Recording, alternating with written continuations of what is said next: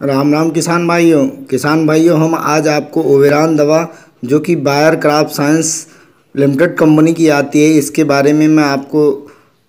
जानकारी देना चाहता हूँ कि ये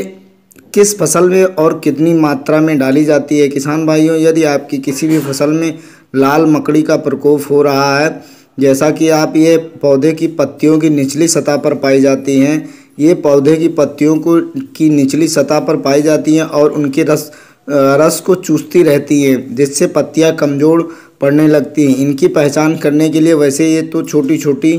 पत्तियों के नीचे लाल व पीले रंग की दिखाई देती हैं। यदि आप नहीं देख पा रहे हैं किसी भी कारण से तो आप पत्ती को तोड़कर आप उसको जब देखेंगे तो पत्ती जाली नुमा दिखाई देने लगती है।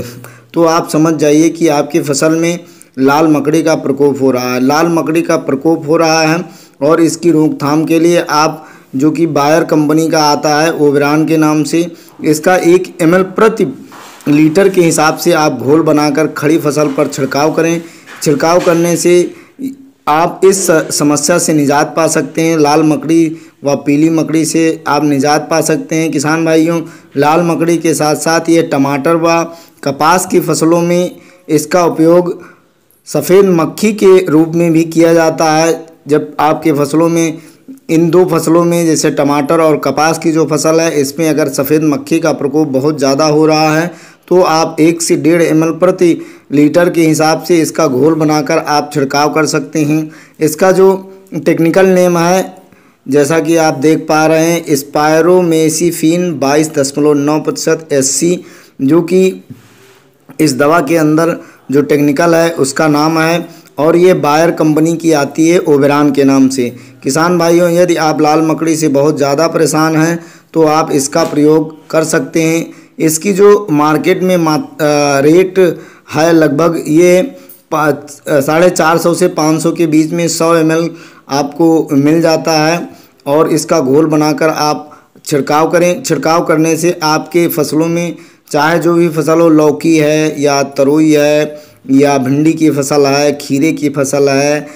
कपास की फ़सल है, टमाटर की फ़सल है, कोई भी फ़सल है, जिन भी फ़सलों में आपके